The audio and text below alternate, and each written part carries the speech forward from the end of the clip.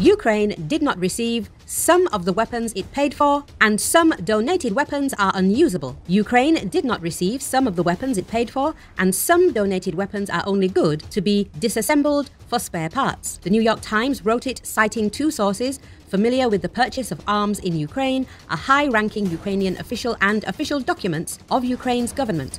According to the newspaper, official Ukrainian government documents claim that as of the end of 2022, Kiev had paid arms suppliers more than 800 million US dollars for contracts that were not fully or partially fulfilled. Two of the newspaper's sources involved in arms purchases for Ukraine said some missing weapons were eventually delivered, and in other cases, brokers returned the money. One of them added that as of early spring 2023, hundreds of millions of dollars had been paid, including to state owned companies, for weapons that had never been delivered. Volodymyr Havrilov, Deputy Minister of Defense who deals with arms procurement, said there were cases when Ukraine paid money but did not receive weapons. According to him, this year, the government began to analyse its past purchases and exclude problematic contractors.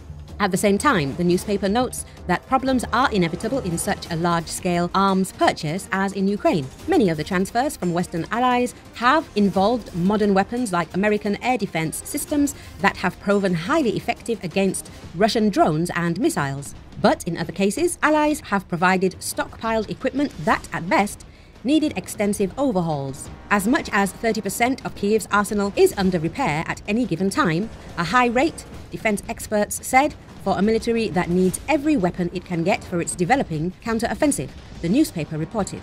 Ukrainian government documents show that the Ministry of Defense paid $19.8 million to an American arms dealer, Ultra Defense Corporation, to repair 33 howitzers. In January, 13 of these howitzers were sent to Ukraine but arrived unfit for combat missions, as stated in one of the documents. Ukraine accused the American company of failing to finish the job it was supposed to do by late December.